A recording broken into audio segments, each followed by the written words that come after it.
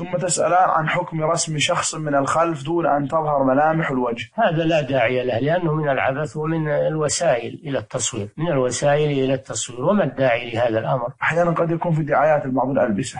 نعم. يبدو قفى الرجل. هذا مبدأ شر ووسيلة إلى إلى صنعة ونصب التماثيل. نعم.